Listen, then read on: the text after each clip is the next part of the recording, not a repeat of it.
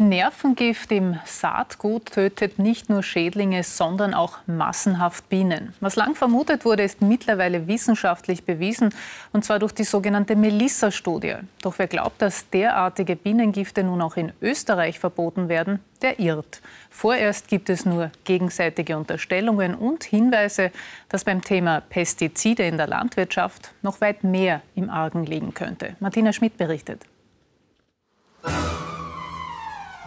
24.000 Imker kümmern sich um die fleißigen Honigbienen. Rund 400 Imker erwerbsmäßig. Auch heuer beobachten Imker wieder heftiges Bienensterben. Die Hälfte aller Pestizide in der Landwirtschaft sind bienenschädlich, heißt es.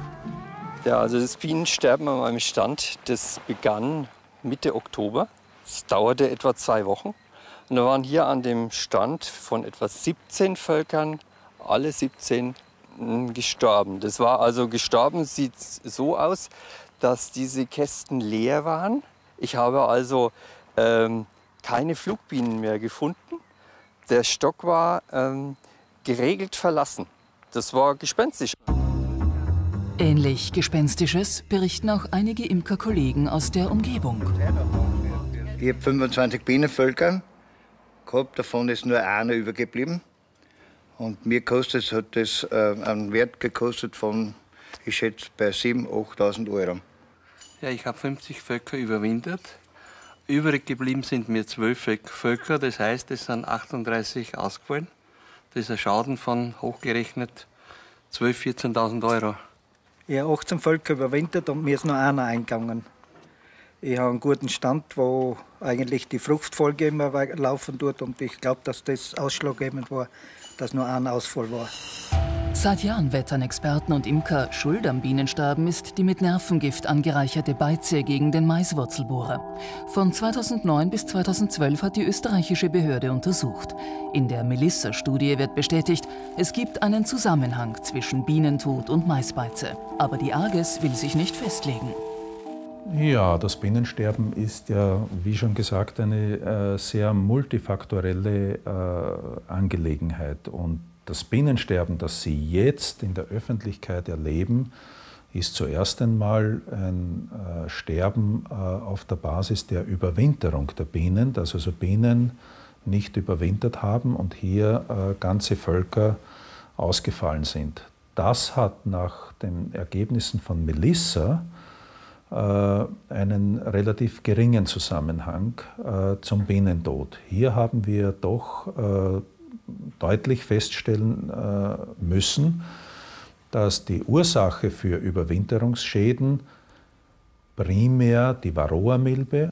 Stimmt, auch die seit 30 Jahren wütende Varroa-Milbe dezimiert die Bienenvölker. Allerdings, so sagt Profi-Imker Stich, hat man sie mit Ameisensäure im Griff. Die zahlreichen toten Bienen auch von heuer kämen von der Beize. Die Melissa-Studie zeigt eindeutig, dass es äh, den Zusammenhang zwischen den Maisbeizen und den Bienenschäden gibt. Der wurde ja von Anfang an eigentlich in Abrede gestellt. Es wurde sozusagen gesagt, da ist die Varroa dran schuld. Mittlerweile jetzt haben wir es ganz klar und deutlich äh, von Melissa bestätigt. Die Maisbeize hat einen Zusammenhang mit den Bienenschäden.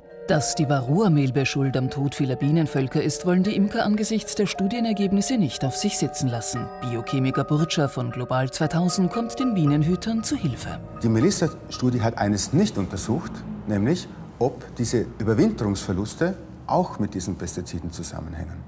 Obwohl das von den Imkern schon seit langem vermutet wurde. Im Gegenteil, seither behauptet Landwirtschaftskammer, seither behauptet die AGES, wir haben zwar gezeigt, es gibt ein relativ kleines, eingeschränktes Problem. Das ist Pestizide rund um die Maisaussaat und Maisblüte. Und es gibt ein großes Problem, nämlich Bienensterben durch verschiedene Krankheiten. Aber das hat mit den Pestiziden gar nichts zu tun. Sind also Milben oder die Beize bei der Überwinterung das Problem? Die Antwort gibt eine neue, bisher unter Verschluss gehaltene Studie, die dem Report vorliegt.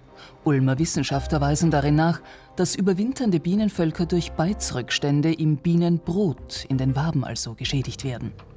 Aber zurück zur behördlichen Studie Melissa. Ganz nebenbei ist da noch etwas anderes ans Tageslicht gelangt. In einigen Bienenproben wurden seit Jahren verbotene Pestizide entdeckt. Und wieder geraten die Imker in Verdacht, selber schuld am Bienensterben zu sein. Bei den Chlorphenvenphos war natürlich auch die Situation die, dass es in der Imkerei äh, in Europa illegal angewandt wird. Und äh, das ist ja, gibt es auch wissenschaftliche äh, Ergebnisse dazu, dass das so ist. Und äh, Melissa hat das nun einmal gezeigt. Und jetzt gilt es darum, hier, dass in Zukunft nicht mehr äh, der Fall ist. Wir haben daraufhin die AGES aufgefordert, äh, in Einzelfällen, uns bekannten Fällen, die von solchen äh, Stoffen, Stofffindungen betroffenen Imker haben sich zur Verfügung gestellt, haben angeboten, dass bei ihnen im Betrieb Wachsproben allerlei Analysen gemacht werden.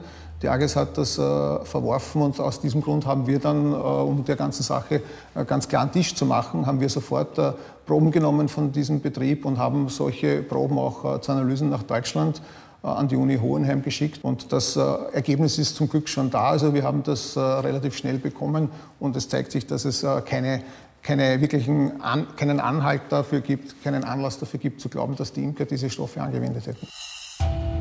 Wenn es nicht die Imker waren, wer dann? Im Jänner dieses Jahres warnt die Europol, der Handel mit gefälschten und illegalen Pestiziden aus dem Osten wächst rasant. Was hier gemacht hätte werden müssen, weil es wirklich kein Kavaliersdelikt ist. Es werden eben verbotene Pestizide, die gefährlich sind für Mensch und Umwelt, ausgebracht. Das liegt auf der Hand. Wir haben ein Beweismaterial, nämlich die verbotenen Pestizide wurden von den Bienen eingesammelt, in die Bienenstöcke gebracht und wir wissen ungefähr, wo die ausgebracht werden mussten, nämlich im näheren Umkreis des Bienenstocks. Und was die Behörde jetzt machen muss, ist hingehen, Proben ziehen schauen, wer, hat's aus, also wer hat das angewendet und dann über den Anwender an die Hintermänner zu kommen. Wir fragen im Burgenland und in Oberösterreich nach, was man tut, um die verbotenen Gifte zu finden. Im Burgenland will man kein Interview geben. Erfolgreich sind wir in Oberösterreich. Dort treffen wir Landwirtschaftslandesrat Higelsberger. Wir sehen, dass das das verbotene Beizen oder verbotene Mittel sind, die ja irgendwann einmal im Markt eingeführt waren. Und wir müssen dem sicher nachgehen. Es ist für uns nicht leicht, dort diese herauszufinden, weil wir die Fundstellen nicht zu 100 Prozent kennen, die es auch nicht weitergegeben wird. Aber wir sind ja vor allem bei der Maisaussaat ganz stark involviert, auch in den Kontrollen, kontrollieren, dort die Landwirte kontrollieren, auch die ausgebrachten Sägeräte, mit denen ausgebracht wird. Daher hoffen wir, dass wir natürlich dort dahinter sind, diese jene schwarzen Schafe auch aufzudecken. Zwei Verdächtige, Händler und Anwender. Die einen vom Bund, die anderen von den Ländern kontrolliert. Und wenn zwei sich blockieren, freut sich der dritte, die prosperierende Pestizidmafia. In Sachen Maisbeize weisen die Bauern jedenfalls die Schuld von sich. Sie haben nachgegeben. Wir arbeiten mit den Imkern zusammen. Wir sind auch für ein Monitoring bereit. Wir sind auch bereit, äh, noch einmal zu schauen, wo kann man noch verbessern. Aber uns das umzuhängen, dass die Maisbeize hier jetzt so quasi beim Bienensterben der Hauptverursacher ist und da das Hauptproblem darstellt, da würde man äh, quasi das Kind mit dem Bad ausgießen. Also zurück zum Anfang. Wer hilft den Bienen? Volksanwalt Kostelka schaltet den EU-Ombudsmann ein. Denn sobald neue wissenschaftliche Daten vorliegen, ist die EU-Kommission verpflichtet, die Zulassung der Maisbeize zu überprüfen. Und das ist laut Kostelka jetzt eindeutig der Fall. Bis zum 30. Juni hat die Kommission Zeit für eine Antwort. Der Volksanwalt ist angesichts der Datenlage optimistisch. Wenn sich das alles erweist, wovon ich persönlich ausgehe, es gibt auch schon diesbezügliche wissenschaftliche Untersuchungen, so wird wahrscheinlich ein Verbot äh, in diesem Jahr äh, unrealistisch sein, aber nächstes Jahr müsste es wohl schon greifen. Und die realpolitischen Aussichten? Ende Mai tagt der Landwirtschaftsausschuss im Parlament. Die fünf Parteien könnten sich einigen, heißt es. Kommt gar ein Verbot der Maisbeize mit großzügigen Ausnahmeregelungen? Wäre irgendwie typisch österreichisch.